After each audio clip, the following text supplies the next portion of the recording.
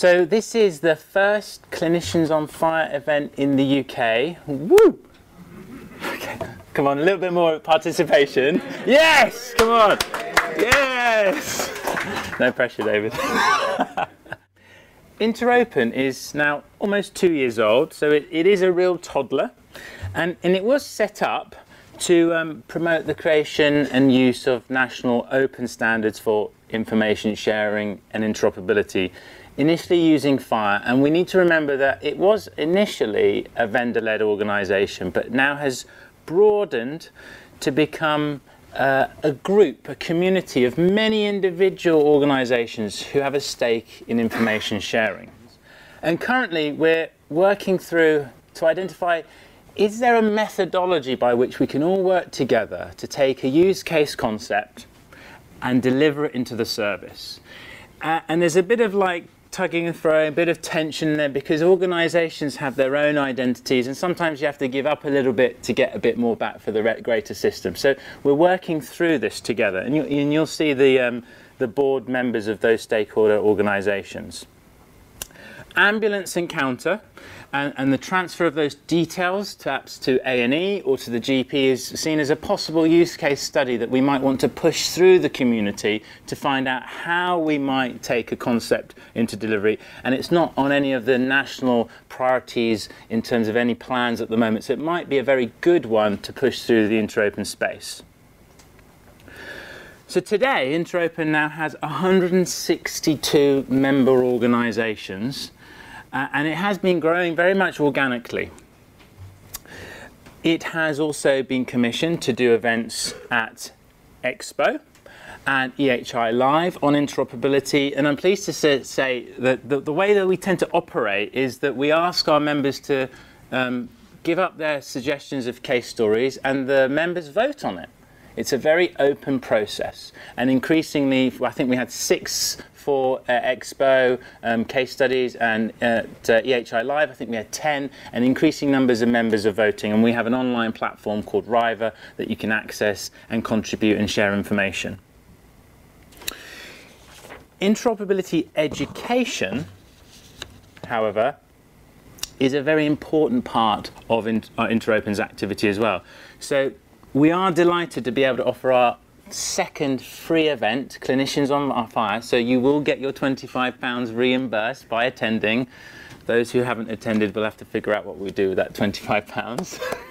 but well done for attending and thank you very much.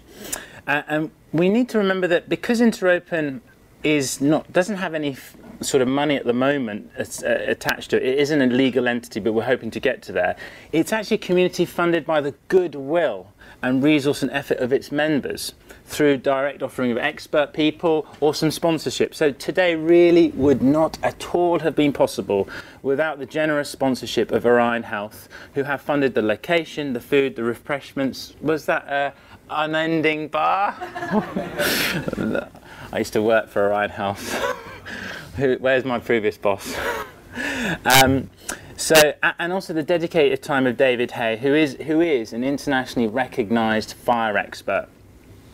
And we also need to thank Helen Young's Interopen's comms team expert who has helped. You know, a lot of you have been in contact with her, and you'll notice it, Helen has replied very quickly to all your queries. So thank you very, very much to Helen for all her help. In addition, David has worked uh, on uh, over the set, sort of last several months with me, often at 12-hour different time zones on Skype. He's got to know all the different onesies I wear. I think my favourite is my Spider-Man at the moment. So we've got to know each other quite well. I've got some screen grabs.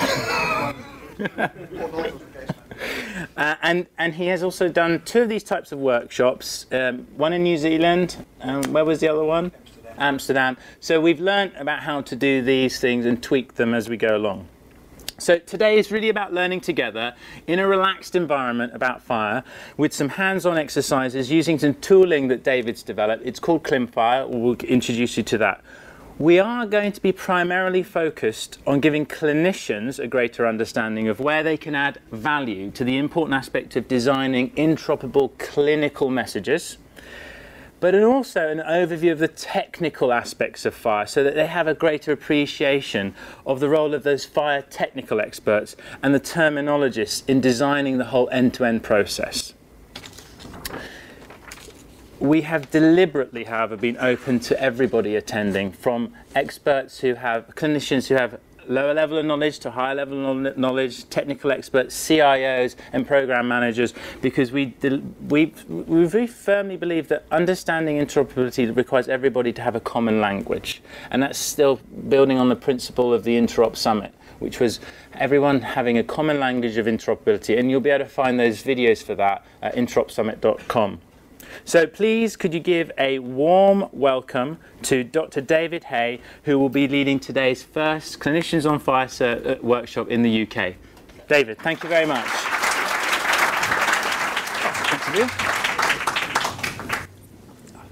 Just move my bag out of the way. Um, okay, can everybody hear me all right? Excellent.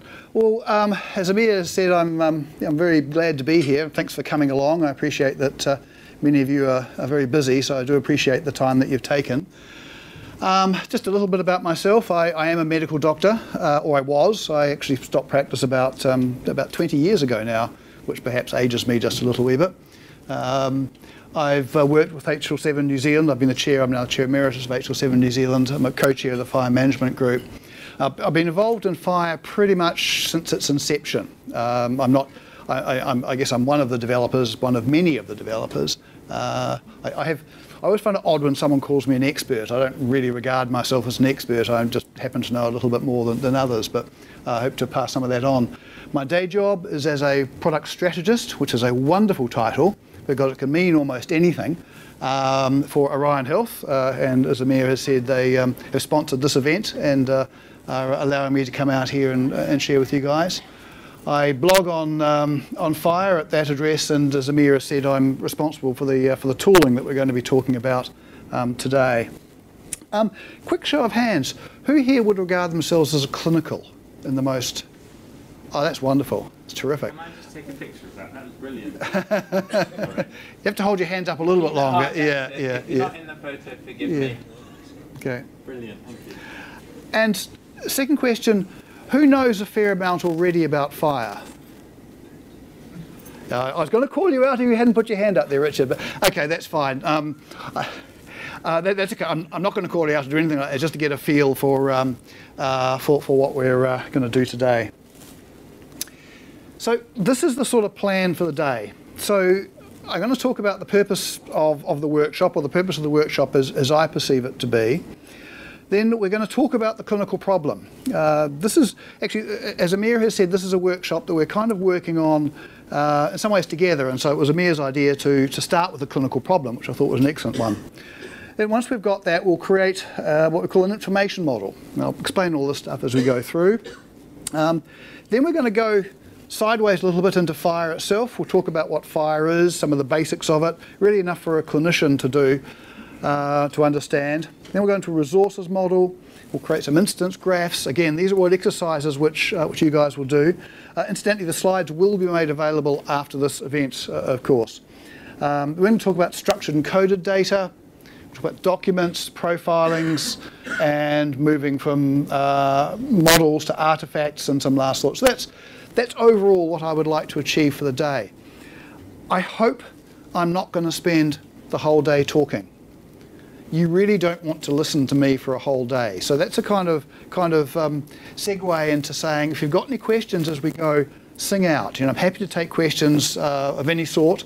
If, uh, if they're relatively simple, we'll answer them straight away. If not, then um, we'll, we can take it offline. But please don't don't hesitate about asking questions if I say something that you're not uh, sure on. And so this is kind of the objectives. What's what's fundamental to all of this, what's driving me in all of this, is that I think that FHIR presents an opportunity for the clinical folk, and you're going to get sick of me saying this, but for the clinical folk, and I mean that in a very, very broad sense, from sort of professional clinical, doctors, nurses, social, those who are uh, pretty much anybody who is involved in delivering care at any kind of capacity, to become more involved in health informatics.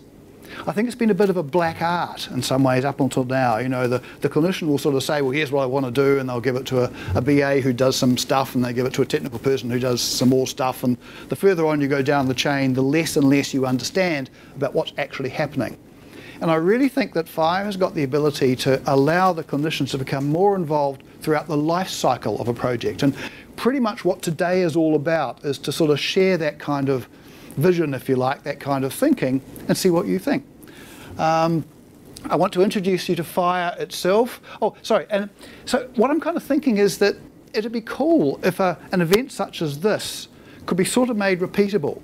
So that if you were going to a place and clinical folk were, were being start to be involved in a project of some sort but knew nothing about it, there was like a, a sort of a pre-canned program that you could roll out that somebody who understood the clinical domain and who understood FHIR could sort of give. Um, so developing that is, uh, is really part of what I would like to achieve. I obviously want to introduce you to FHIR. Uh, and again, it's going to be at a fairly superficial level. FHIR has become quite large uh, and encompassing, but I want to try and give you a feel for what the, the main parts of it are. Obviously, we want to talk about the ClinFHIR tooling itself, which is part of the way that I think clinical folk can get involved uh, and how to use it. And I'm going to describe the profiling infrastructure. Now, I'll, hopefully I'll address these um, terms a bit more as we go.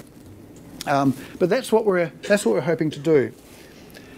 And as part of that, we've developed, if you like, a kind of process. Now, I just want to be quite clear, this is not an official FHIR process. It is not uh, an official interopen process. In fact, this is kind of me and a couple of other people sitting down and thinking, well, how would we, how would we get started? You know, how, how could we go from a, from a clinical problem of some sort to its, to its solution inside of FHIR?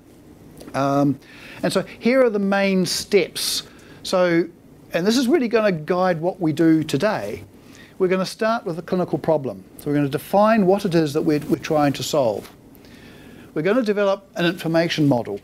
And I'll talk about what that is, and then you guys, that'll be your first exercise, you will create an information model. We'll then move on and create a resources model, which is where we start to move it into FHIR. And the references graph is part of that.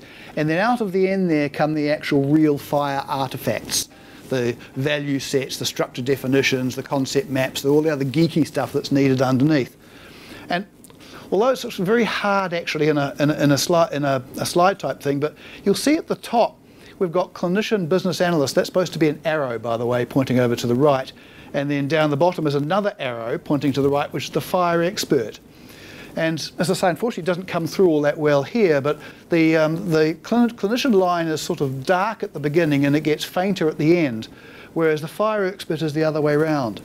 And what that's trying to represent is the fact that I think that the clinical folk, the business experts, if you like, are heavily involved at the beginning of the process and then sort of less so as time goes on as we develop things. Whereas the FHIR experts, the terminologists, less so in the beginning because they don't understand the domain, but more so as we go through. And so that, that's how the two groups, if you like, can kind of work together. And also how, you know, you can exchange knowledge as you go. So the uh, clinical business people can learn more about FHIR as they go through some of these exercises. The FHIR slash terminologists learn more about health as they go th through some of these exercises. So that's a, that's a kind of process that, we, um, that uh, we're sort of thinking about.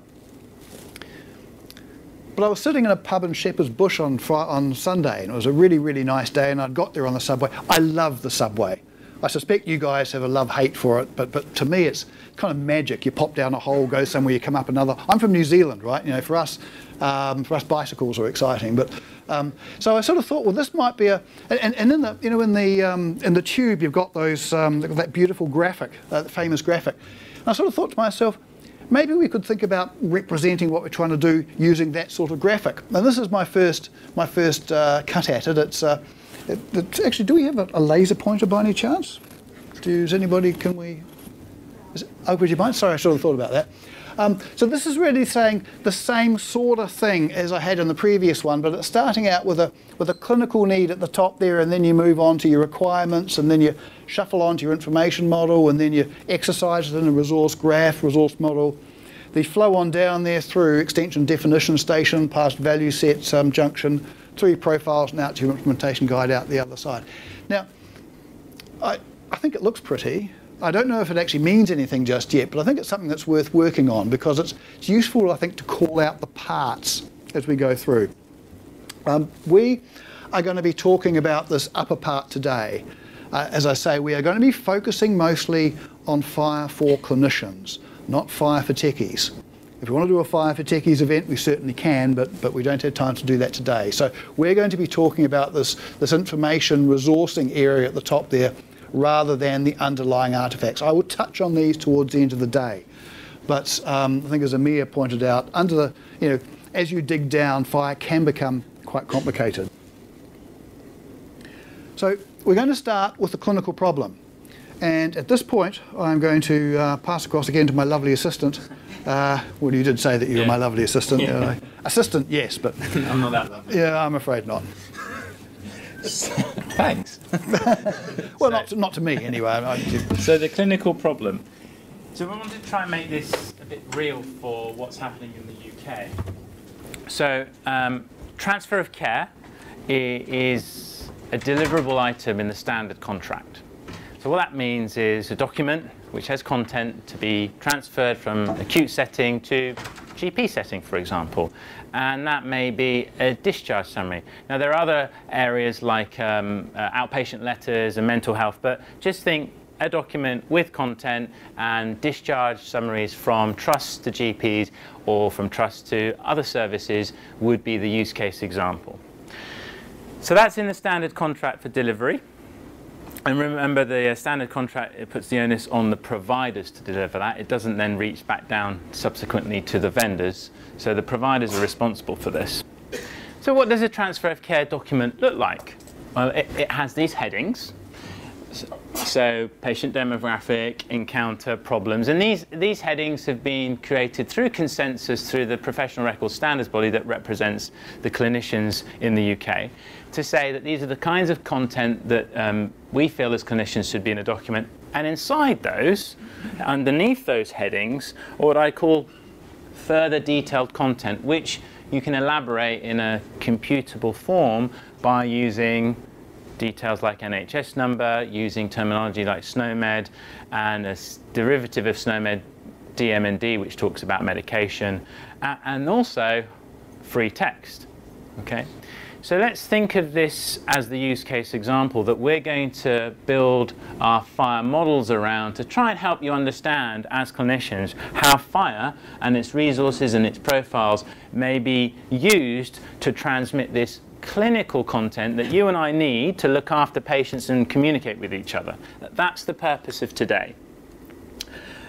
So the sending organization needs to give it to a recipient and that we don't often talk about the patient. So I, I personally, at the moment, am striving for success in NHS Digital, my other role. I'm an interoperability clinical lead in NHS Digital, being that the patient always receives a copy of everything. So that's, that's my personal marker of success, okay? But it doesn't always happen.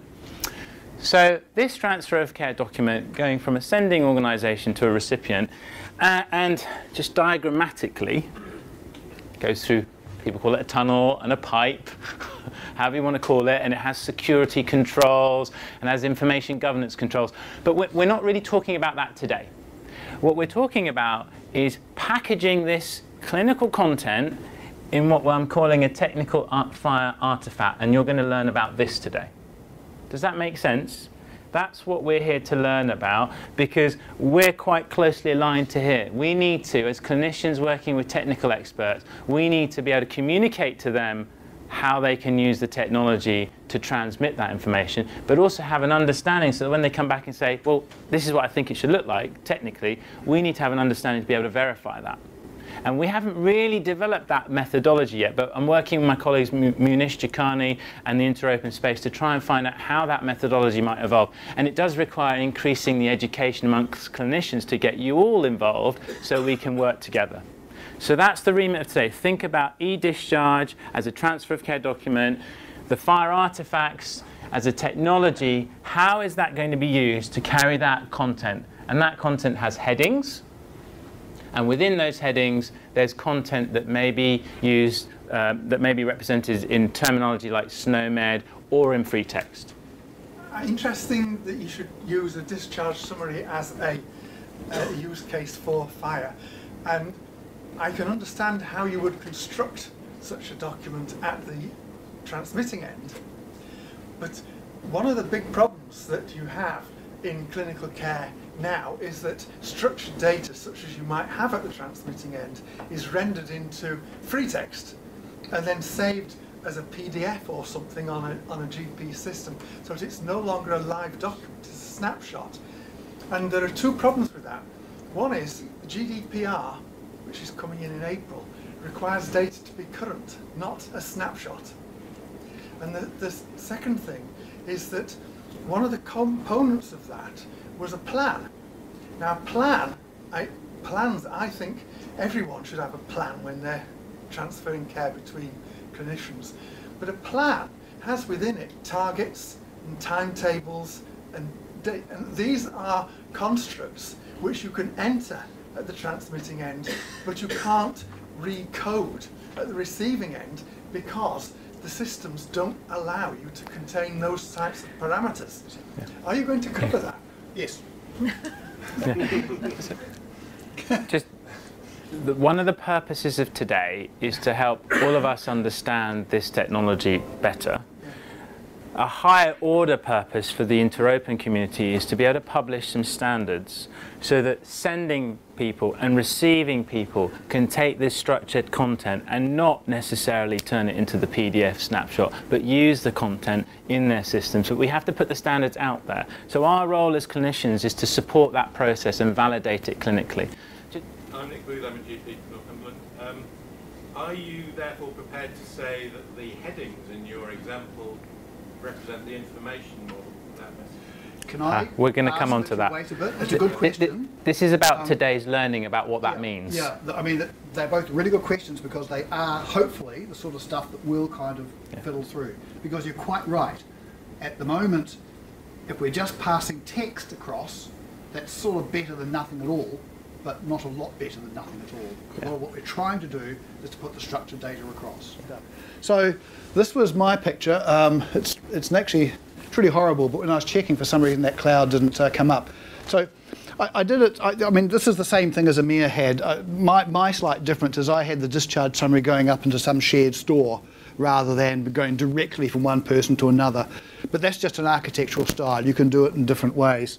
And the point I really kind of wanted to make as Amir has done so, is that we're talking about the contents of that discharge summary. We're not talking about all the other bits are, that are around it, and there are plenty of options for that. Okay, uh, and yes, focusing on the document, uh, document content, content only. So now I'm going to get into the uh, into what an what an information model is, which is the first step on our way. We've identified our, our requirement, what we want to do. How do we start working towards it? So the information model, uh, it, I mean, the word information model is one that's going to mean slightly different things to slightly different people, and there are people that know a lot more about these things than I. But when I'm talking about this, this is the information that the clinician wants to share. It, it doesn't reflect how it's stored, it doesn't reflect how it's captured, it's just the way for a clinician to be able to sit down and say, right, to make any kind of sense, I need this and I need that and I need the other thing as well. So it's thinking about what, what I want to share with another person. It's a technically it's a form of what we call a logical model. It doesn't actually depend on you know how we actually store it. It sort of uh, it allows you to be open about it. And it's important to realise there are different ways to represent an information model. We're going to use FHIR because I'm a FHIR kind of guy. But OpenEHR is another, uh, is another commonly used, particularly in the UK, information model, uh, as is something called CIMI, um, Common Information Model, something I always forgot, is ISO 136 and 6 are others. So there are different ways you could represent the information. Uh, this is just one of them, but fundamentally they're the same. Fundamentally they're saying, here's the data I want to get from one person to another person. I need to start getting a little bit technical.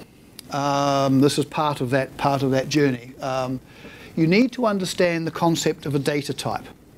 Now we're going to talk about this a bit more as we go along, uh, but there are some that's worth being aware of as you start down the information model journey. And a data type is, the, if you like, the, the basic unit upon which you make up resources. Again, we're going to talk about those shortly. The ones that I'd just like to draw your attention to is a, a string, which is just a sequence of characters. That's like text. A date, obviously, is just that, a date. A quantity is an amount of things.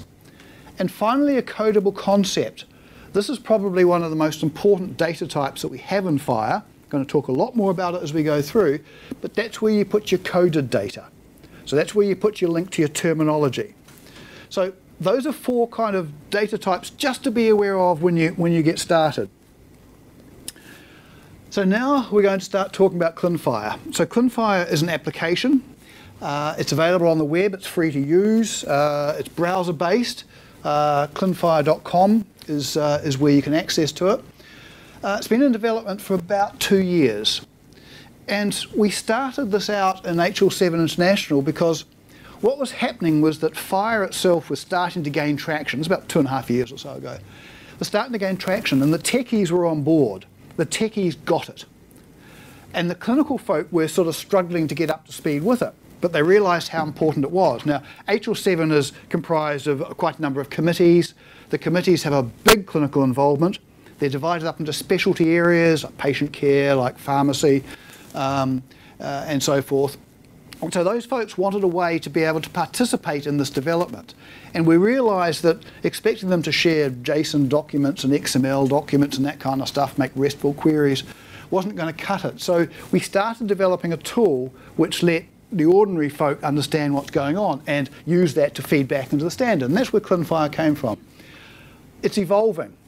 That's a nice way of saying that it changes a lot. So what it looks like today may not be what it looks like next week. Hopefully, it's improved. Hopefully, it hasn't broken anywhere. Reasonably good at not doing that these days. Um, but most importantly, what ClinFHIR does is reflects back the needs of clinicians. And we listen very closely to what people are doing, what their needs are, and then try and adapt it to meet those needs. Here's a list of some of the functions. Uh, you can use view patient data with it. The logical modeler is a tool we're going to use quite a lot today as is the scenario builder. I'll talk a bit more about those as we go along. And then these three down the bottom, the value set explorer, extension definition editor, probably won't have time to do stuff with them today, although I'll explain what they are. And the implementation guide viewer finally is something we'll look at the end of the day. So that's what ClinFHIR is, is about. Um, over there is the front page of ClinFHIR, and I think uh, one more thing I just want to talk about. ClinFHIR it's, it's kind of like what an application could be. So what it does is it talks directly to, to FHIR servers. For the, for the technically inclined, it's a, it's a single page application written in Angular JS. Um, but as we'll see in a moment, what you do is you point it at FHIR servers, at servers that support the FHIR interface. And we've divided them up into three kind of categories. And this division is very deliberate because this division sort of reflects the way that we might divide up capability when we're building an ecosystem. These are the types, or some of the types of services that we might be providing. So the patient and the data, this is where we put the actual information. The profiles, or the conformance resources, that's where we put all the things like the, um, like the profiles, like the extension definitions, things like concept maps, more, more, lots of techie, geeky stuff. But this is, this is where you know, that definitional stuff sits. And then finally, the terminology. And the terminology, again, these are all important, but I'm coming to realise just how important proper terminology is. But terminology is hard. Terminology is really hard. And one of the things that FHIR does is to define what we call operations, which are kind of like interfaces, which make it very simple for an application to call, and all the complexity is hidden behind in the terminology server.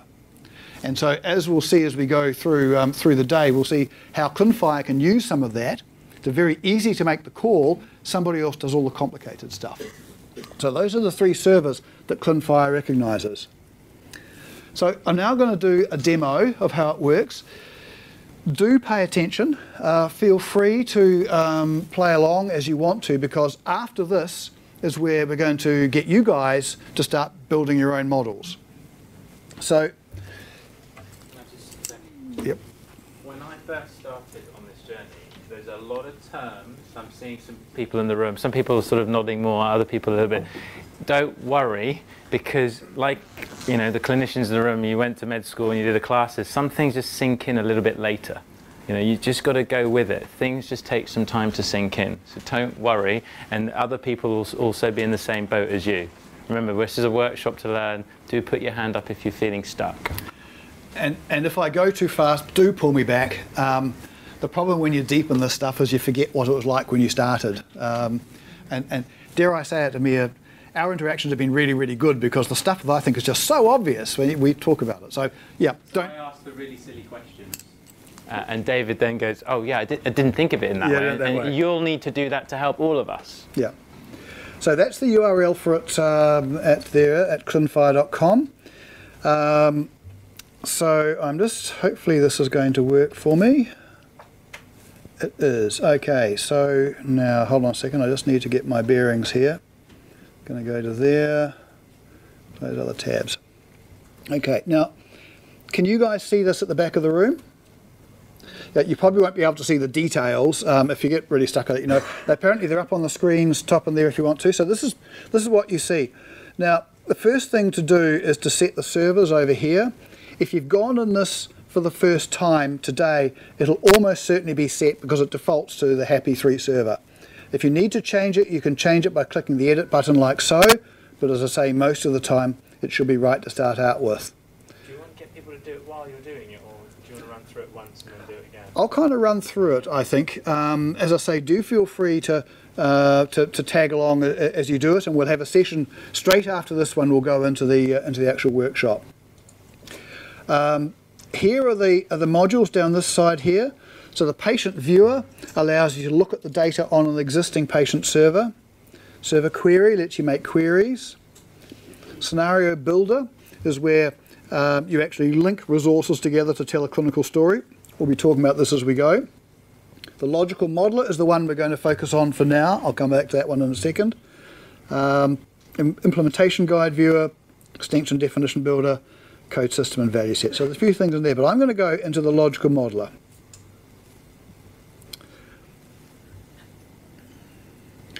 Okay, so to that's actually quite pale, so hopefully it's going to work out. So to create a so this is um, this is what an information model looks like. So here's one that we created earlier. In fact, no, sorry. All I'll do is I'll start with I'll create a new one. So to create a model, you click on the new model link like so. You give it a name.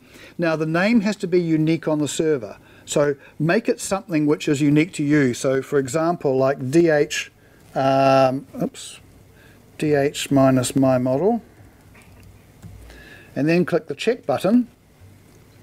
And provided that's unique, then you will get a little save button appears at the top there. That tells you that your model is okay. Uh, you're limited by some of the um, uh, characters. You can't put an underscore in there, for example, so it'll warn you about that. Otherwise, you do that. And then you get this blank thing that says My Model. And what you're now going to start doing is you're now going to start adding elements to your model. So we're talking about a discharge summary. So the first thing we're going to want for a discharge summary is probably a patient. So what I'm going to do is I'm going to click over here on this button that says Add Element, and I'll click on that. And then we get this dialog box. Yes, that comes up all right. Uh, and these are the, the, the, the, the parts we can enter about this particular element. So we're going to give it a name over there. That's where the data type fits in. As we go on, you become more and more familiar with different data types.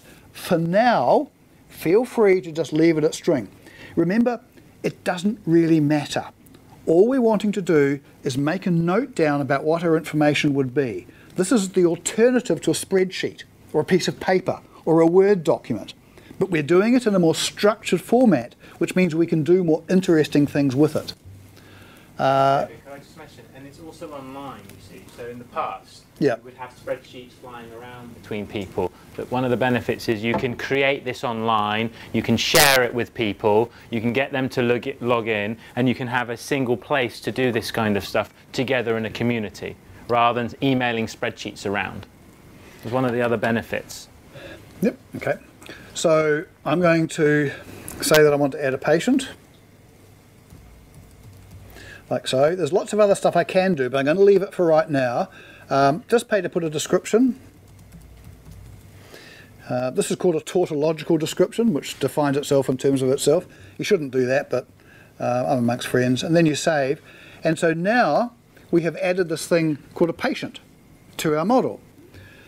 And so I'm then going to say, well, what is it about a patient I want to, I want to record? Well, for a start, I'm probably going to want their date of birth.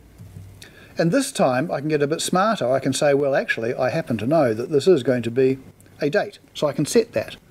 Uh, I can say it's their um, date of birth and so forth.